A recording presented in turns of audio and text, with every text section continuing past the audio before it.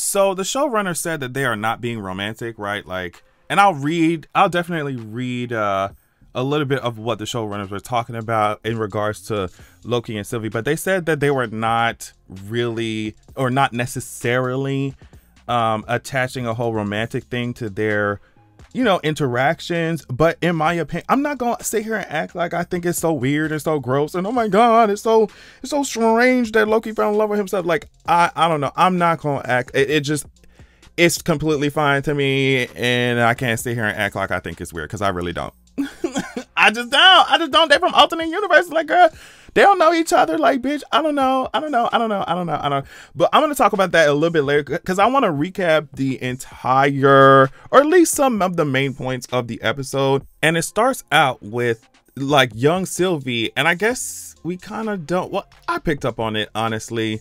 Well, at first maybe I was like, okay, are they doing a young kid Loki that's like a girl? Like, are they changing that shit up? But no, it's a it was a young Sylvie who they snatched up. I guess she wasn't even supposed to exist. We find that on later, or we find that out later on. Um, she wasn't supposed to even exist. They snatched TVA, snatched her ass up, but she stole the TemPad because she's a bad bitch and she she ran the fuck away from Renslayer ass. You know, so and then you have Mobius eh, pressing Renslayer on what the fuck happened to the other girl. What's her name? I don't know. It was another um what you call it? Like an officer whatever the fuck they be walking around here in TVA with they them little bombs and shit bitch. You ever know what I'm talking about. So she was he was pressing Renslayer was like where the fuck is she at? And he wasn't getting no straight answer from her. She ended up telling him that she's dead and that Sylvie killed her. And I was just like immediately I was like girl that shit not really making no sense to me. Like that's just that's just not making no sense to me. Like Sylvie Sylvie will kill what she needs to kill, but it's just like I feel like she her powers she wasn't doing that shit. She wasn't doing that shit. I don't know how to explain it. I was just like, okay, did Sylvie really scramble this bitch brains up like that, like that bad to where she done died? It just didn't make no sense, bitch. So we switched to them. You know, Loki and Sylvie are over here on Lament, whatever the fuck that planet name is. Purple ass. I should call it Thanos planet, bitch. they on this planet, bitch and the world the whole world's about to end and she ends up telling loki like i think this is where they had the conversation. I got kidnapped. Them hoes snatched me the fuck up.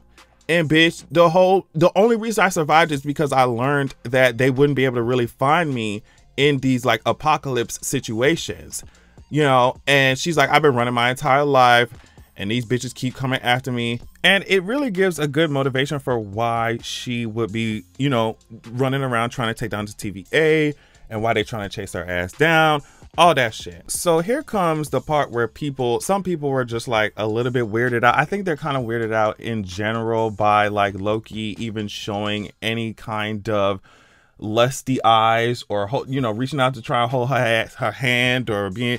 And I'm just like, I really don't care. I really don't care. So apparently, because we switched back between them being on the planet and the TVA seeing what the hell is happening at a specific point, obviously the Nexus event where they're at right now. And just like they're like, oh, have you ever seen a Nexus event like that ever? You know, and so they obviously they know that that's, that's where they at, and they come get them, and they come save him before the, the two planets collide. So I want to read something really quick from comicbook.com that comes from, well, I mean, they take a lot from what the showrunners say. So they said, as of now, there don't seem to be any plans to establish a romantic link between Loki and Sylvie. Loki episode 3 Lamentis toned down the action in exchange for an hour or so of character development of the two tricksters, leading some to believe the character work between the two could potentially lead to a romance as the series moves along. According to Loki Helmer Kate Herron, however, it was never their intention to introduce a romantic relationship between the two. Rather, the writer's room simply wanted to establish a friendship between Loki and Sylvie because neither of them has any friends. For me, it was just about it becoming a character study, not necessarily romantic, but Loki doesn't have any or Loki doesn't have many friends, you know. He builds this friendship with Mobius across the second episode, Herron told Thrillist in a recent chat. It was really about crafting out characters that by the time they get to the city at the end of the show, they're going to work as a team. And they have to have gone on a journey and maybe they'll be friends. We don't know, but at least they are at a point where okay, I've got your back in this moment. But for me personally, like I said, I don't think that shit is weird. Um, I don't think I could get with an alternate universe version of myself, you know what I mean? Like alternate reality version of myself if I was like near identical. But if I was like hotter and less annoying and cool, you know what I mean? Like smoother and cooler. Maybe I would, bitch. If you come from another another universe, bitch, you want to get down, like, bitch, let's make out or something. You know what I mean? Let's let's get down. Let's do some shit. Let's see what's going. Let's see what's popping. I don't think that shit is weird. And the first re the the and we're talking about like some deep shit obviously Loki was in the beginning was at a point where he hated himself and the whole point is to get him to love himself. You know what I mean? And then on top of that, what who else do you think Loki will fall in love with but him but his goddamn self? And it just it seems it just seems it doesn't seem weird to me because they're so different. You know like i don't know. Even if he was the same and he wanted to make out i just i i don't see anything weird or wrong with that shit. People are acting like he make out with his fucking blood brother or some shit. Like girl just sit y'all ass down bitch and enjoy the show. Shut the fuck up. So anyway so anyway child they come to get they come the tva come to get their ass they lock their ass up and mobius is like bitch you tried me for the last time he puts him in, in this time loop thing where he repeatedly repeatedly has to face sif because I guess in the past he had cut her hair off or some played a trick on her ass and she just punches him in the fucking face and knees him in the balls. Um, I mean, continuously on a time loop. That shit was torture. But before he got in there, um, he ended up telling Mobius, girl, the, TVA is lying to your ass. And later on, when Wunmi i love Wunmi as an actress she plays hunter b15 so when hunter b15 came out there and say you know, talking to Mobius about certain things that really not rubbing her the right way. She asked her, she asked Mobius what Loki said in there, and Mobius said, "Hey, he said that the TVA is lying to me." He kind of laughs it off, but you can tell that Mobius is like thinking about that shit. Like it really did. Like when Loki said that shit first to Mobius, it really um made him made him think about some shit, even if it was subconsciously. Like, but you know, Hunter B15 B15 says, "Girl, I mean, you can see on her face after she finds out that Loki said that shit to Mobius, she kind of she was also kind of thinking about that shit too cuz things are not adding up, you know what I mean? And so Loki is still in that goddamn time loop, but it was it's only when he admits like, "Oh, I'm a narcissist and I want people to pay attention to me because I always feel alone." um, Sif ended up telling him, "Bitch, you'll always be alone." Uh, but this next part here, where they're trying, they it's like they are trying to get each other to tell. tell the other person the truth is it's like they're playing mind games in here i do love tom and owen wilson's uh chemistry here it's i mean i love their chemistry throughout the entire show but this scene in particular i love how they play off of each other's actors um, but Loki ends up telling him the truth, like, bitch, the TVA is lying to y'all ass, bitch. All you hoes are variants, and they snatched y'all ass up from the motherfucking timeline, bitch, and erased y'all memory every time. That's why all. The, I mean, he didn't say this, but that's why. Remember, he was putting his cup down on that damn. You know, you know, I'm t- and were many rings from it, bitch. You know I'm talking about. That's what he said. He's like, bitch, they're lying to you. They're lying to you. And Mobius almost don't. Mobius don't believe his ass and he puts his ass right back in the fucking time loop shit. He puts his ass, he doesn't believe him puts him back in the time loop. And before um he goes in there, Loki says, "Bitch, you're lying to yourself." And Mobius, you can you can tell on his motherfucking face that he's really seriously thinking about what this what this man's saying. So Hunter B15 goes into where Sylvie's being held and she she makes it seem like she finna prune her ass, like she finna go in there and kill her ass, right? But she turned that pruning stick off and said, "Hey, Sylvie, you need to follow me," because obviously, like I said, she's been really having doubts of her own, and she wants to find the truth. She, she, she wants to find out the truth. So we move on to the next scene with Mobius and Renslayer talking to each other. And Mobius is really trying to press Miss Mamas for answers on specific questions. And Renslayer is just like really beating around the bush. She's not giving him straight answers and Mobius can tell he can he can see right through all that bullshit. So what he does is while she's over there switching them damn swords and shit and knives and shit, whatever the fuck they was doing, um, he picked up that damn TemPad and switched it out for hers and and started and he just he's gonna find the motherfucking truth out. So Hunter and and Sylvie are out here in front of this damn Roxxcart in the rain which I think represents so much if you really think about it. And here is where we find some like really cool information, right? So the first time that we were introduced to Lady Loki when she was enchanting and taking over the minds of all them damn people while trying to, you know, fuck with Loki.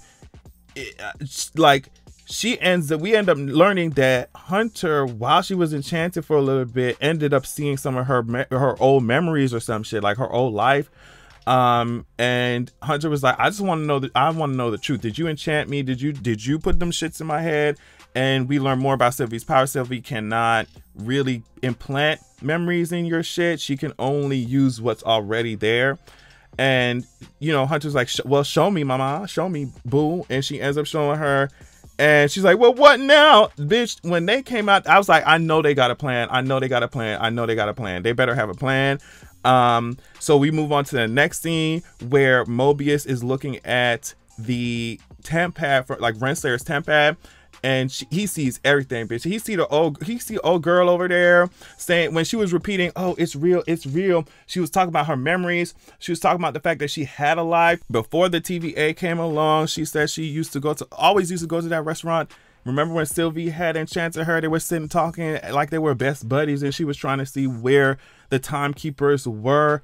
Um, and then we see Renslayer pop up in the goddamn recording, Miss Monas! We see we see Renslayer pop up in the corner. We was like, it, it, it's just an absolute mess. So he figures out that Loki's telling the truth. So he goes to get Loki. And then they come out, bitch. As soon as they come out, as soon as they come out, I'm just like, my Mama, you didn't think this shit through. You should have had a plan. If you're gonna take somebody TemPad, they're gonna notice that it's not theirs the moment that they pick that shit up. So like, why didn't you have a plan? But whatever. As soon as he came out of that time loop with Loki to rescue him, basically saying, "Bitch, like I believe you. We gotta go take down the TVA, bitch. And your weirdo love thing with with um, Miss Girl with Sylvie can probably take the whole thing down with a fucking ne Nexus event or whatever. As soon as they bring their ass out that goddamn time loophole." Renslayer is waiting there like she is fucking Cersei with the with the Queen's Guard, bitch. Like she's waiting there, and they had their prune sticks on hold. That's what I'm calling it. I don't know what the fuck you call it, bitch. I'm calling it prune sticks, bitch. They had their prune sticks on. Renslayer was like, "Get his ass, get his ass, get his ass, bitch." I was like, "Are they really finna kill him? Are they really finna kill him? Are they really? Fin they really finna kill him? They really finna?" I was like, "No, not Mobius, bitch, not Mobius, bitch." You could tell Loki was all you know fucked up about that shit, bitch. I was like, "Are you serious?" And I was like, why don't they just prune Loki ass? But bitch, the timekeepers had apparently wanted to, you know, seat over Loki and Sylvie's pruning themselves. So I guess so nothing would be messed up or messed messed up or whatever. But bitch, so they taking their ass, bitch. They taking their ass to the timekeepers. And I found this really interesting because when they were in the elevator, Sylvie asked Renslayer if she remembers her, and Renslayer says no.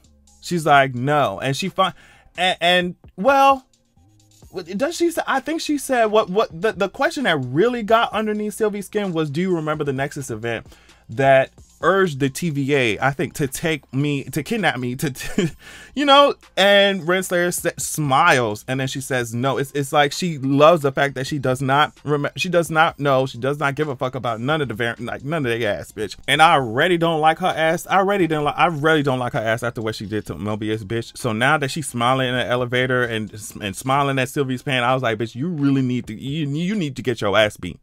You need to get your ass beat. So they on this elevator, they open up them golden ass doors, bitch. This, this fog and shit. I mean, the timekeeper sitting up there looking like some. I don't even know what they look like, bitch. Like they give me very much animatronic, like Chuck E. Cheese ass fucking mascots, bitch, sitting in these in this chair, bitch. I'm like, okay, they don't have no powers or anything. Like, how are they gonna get out this situation, bitch? Then Hunter B15 come in there, bitch. Then she come in their whole. She come in there and she pressed that little button, bitch, and she got she she got her ass beat a little bit. She got her ass beat, but she saved the damn day, bitch. She saved the day, bitch. She uh, she gave them girls their abilities back, bitch, and their ability to fight, and they were in their boxing hole. They were getting down, bitch. Now, let me tell you something about when you are fighting, okay?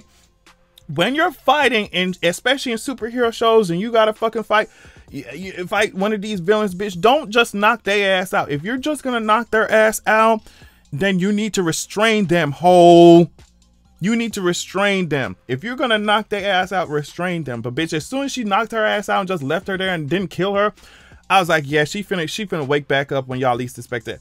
And then, but even knowing that, like even when knowing that shit, I still did not expect for Loki to be pruned whole. I did not expect that shit at all, bitch. Like she came out of nowhere and I'm seeing like Loki all of a sudden like moving and shifting and his chest is glowing. So I'm like, oh, maybe he using his powers or some shit. Bitch, no, he was being erased whole. And this was after Sylvie had tossed that sword up there or whatever the fuck um on the TV on the um timekeepers and found out after chopping one of their heads off that they were robots. So someone's obviously controlling them. They started laughing when the main one got this, got his head chopped off. So obviously the the thing is still going. And there are many there are many theories about who they think is um in charge of all of this. Like who's the ringleader and all this shit. And it, I mean, it's from I, I just think because of all the rumors, because of Jonathan Majors and all that shit, it's giving me very much Kang the Conqueror it's giving me very much Kang. I would like to see what y'all think about that shit. Also, we have to remember that this show is called Loki, so there probably are characters that we're looking at dead in our faces right now who are like disguised. Maybe they are Loki um, acting as someone else or shapeshifted into someone else, and we just won't know until the show continues, until we get a big reveal or something like that. So it could be any it could be anybody in control of these things, anybody from Kang the Conqueror to Loki himself. So I'm just really interested to see where they're gonna take this shit. They had a post-credit scene where we had a whole bunch of Lokis looking at the show Loki after he wakes up, you know.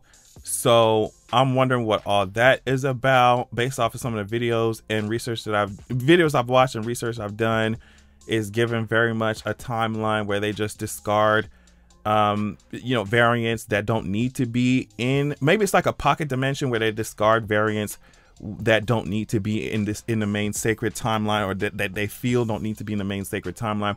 This also brings up the question of what exactly do those prune sticks do? Because obviously because because i thought that them holes was dead. I thought loki was dead ho after she, he got pruned. But obviously he was just transported somewhere. You see what i'm saying? So it's like what the fuck does what the fuck do those sticks do? And if that's the case, if Loki was transported somewhere, does that that probably means we're gonna see Mobius again? You know, so I don't know. Th- th- this fucking episode was so good, and the action was so good that I'm just like, and and Tom, I think Tom himself was just like, I think it was asked, I don't know what what his favorite episode was or which one he was most excited for, but he did say four and five.